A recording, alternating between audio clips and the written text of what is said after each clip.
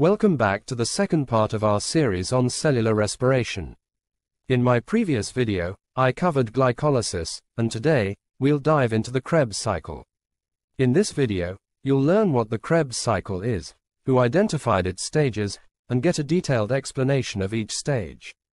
Towards the end of the video, I will also explain why the Krebs cycle is important. Let's get started. The Krebs cycle, also known as the citric acid cycle or the tricarboxylic acid cycle, is named after Hans Krebs, who identified its steps in the 1930s. Hans Krebs first identified the cycle in 1937, earning the Nobel Prize in Physiology or Medicine in 1953. It is a series of chemical reactions used by all aerobic organisms to generate energy through the oxidation of acetyl-CoA derived from carbohydrates, fats, and proteins. This cycle is a crucial part of cellular respiration that takes place in the mitochondria, where enzymes facilitating the reactions are located. It involves the oxidation of acetyl-CoA to carbon dioxide and water, producing energy in the form of ATP and electron carriers NADH and FADH2, which enter the electron transport chain. The Krebs cycle occurs in the matrix of the mitochondria in eukaryotic cells and in the cytoplasm in prokaryotes, playing a key role in the cell's energy production and metabolic processes. Before proceeding to the steps of the Krebs cycle, Let's see what is required for the process. Acetyl-CoA, derived from the metabolism of carbohydrates, fats, and proteins, is essential. We also need NAD and FAD, which are electron carriers that get reduced to NADH and FADH2. Additionally, ADP and inorganic phosphate are needed for ATP synthesis.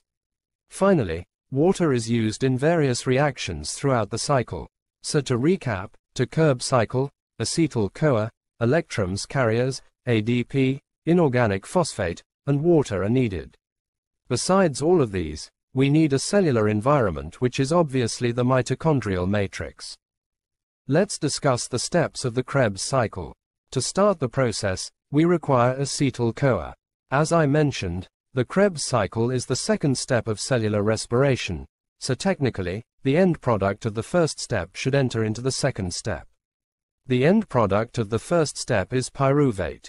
How is this pyruvate produced from a glucose molecule? I have explained this in detail in my previous video.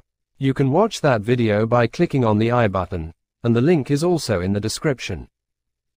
Now, getting back to the topic, the process starts with acetyl-CoA. This means pyruvate has undergone some transformation. This reaction is called pyruvate decarboxylation. So, the first step is the conversion of pyruvate into acetyl-CoA. Pyruvate decarboxylation is a crucial biochemical reaction that connects glycolysis and the Krebs cycle in cellular respiration. This process converts pyruvate, the end product of glycolysis, into acetyl-CoA, which then enters the Krebs cycle. This reaction is catalyzed by the pyruvate dehydrogenase complex, a large multi-enzyme complex made up of these three enzymes. Several cofactors and coenzymes are required for the pyruvate dehydrogenase complex to function properly. During this process, pyruvate loses one carbon as carbon dioxide, CO2. The remaining two carbon acetyl group is then transferred to coenzyme A, CoA, to form acetyl-CoA. This reaction is catalyzed by the pyruvate dehydrogenase complex and also produces NADH from NAD. The overall reaction can be summarized as follows. Pyruvate plus CoA plus NAD plus yields acetyl-CoA, carbon dioxide, NADH, and a hydrogen ion. Now that acetyl-CoA is ready, it enters the Krebs cycle. In the first step of the Krebs cycle, Acetyl-CoA combines with a 4-carbon molecule called oxaloacetate to form a 6-carbon molecule called citrate. This reaction is catalyzed by the enzyme citrate synthase. During this step, the acetyl group from acetyl-CoA is transferred to oxaloacetate, completing the formation of citrate. This marks the beginning of the series of reactions that will lead to the production of energy and electron carriers in the Krebs cycle. In the second step of the Krebs cycle, citrate undergoes a rearrangement to form isocitrate. This reaction is catalyzed by the enzyme aconitase. Citrate is first converted to an intermediate called cis-aconitate through the removal of a water molecule. Then, water is added back to this intermediate to form isocitrate. This step is crucial as it prepares the molecule for the subsequent oxidative decarboxylation. In the third step of the Krebs cycle, isocitrate is oxidized and decarboxylated to form alpha-ketoglutarate. This reaction is catalyzed by the enzyme isocitrate dehydrogenase. During this step, isocitrate is oxidized, which converts NAD plus to NADH. The process also releases a molecule of carbon dioxide, resulting in the formation of alpha-ketoglutarate. This step is important as it generates NADH, which will be used in the electron transport chain to produce ATP. In the fourth step of the Krebs cycle, Alpha-ketoglutarate is further oxidized and decarboxylated to form succinyl-CoA. This reaction is catalyzed by the alpha-ketoglutarate dehydrogenase complex. During this step, another molecule of carbon dioxide is released, and NAD plus is reduced to NADH. Additionally, coenzyme A is added to the remaining four-carbon molecule to form succinyl-CoA. This step is significant because it generates another NADH molecule and prepares the substrate for subsequent reactions in the cycle. In the fifth step of the Krebs cycle, succinyl-CoA is converted into succinate.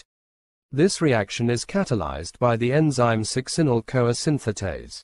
During this step, the CoA group is released from succinyl-CoA, and this release provides the energy needed to synthesize a molecule of guanosine triphosphate from guanosine diphosphate and inorganic phosphate. In some cells, GTP is then used to produce ATP. This step is significant because it directly produces a molecule of GTP or ATP, which is used as an energy source by the cell. In the sixth step of the Krebs cycle, succinate is oxidized to fumarate. This reaction is catalyzed by the enzyme succinate dehydrogenase. During this process, two hydrogen atoms are removed from succinate and transferred to the electron carrier flavin adenine dinucleotide, reducing it to FADH2.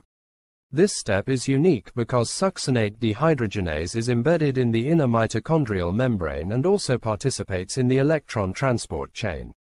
The production of FADH2 is important as it will be used in the electron transport chain to generate ATP. In the seventh step of the Krebs cycle, fumarate is hydrated to form malate. This reaction is catalyzed by the enzyme fumarase. During this process, a water molecule is added to fumarate, converting it into malate. This step is essential as it prepares the substrate for the final oxidation reaction in the Krebs cycle. In the eighth and final step of the Krebs cycle, malate is oxidized to regenerate oxaloacetate. This reaction is catalyzed by the enzyme malate dehydrogenase. During this process, malate is oxidized. NAD plus is reduced to NADH. The regeneration of oxaloacetate is crucial as it allows the Krebs cycle to continue by providing the starting molecule that combines with acetyl-CoA in the first step. This step also produces another NADH molecule, which will be used in the electron transport chain to generate ATP.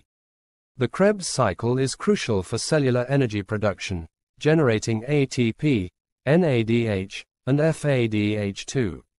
It provides intermediates for biosynthetic pathways and integrates carbohydrate, fat, and protein metabolism. Additionally, it regulates metabolic processes and maintains cellular homeostasis by producing carbon dioxide and recycling metabolic intermediates.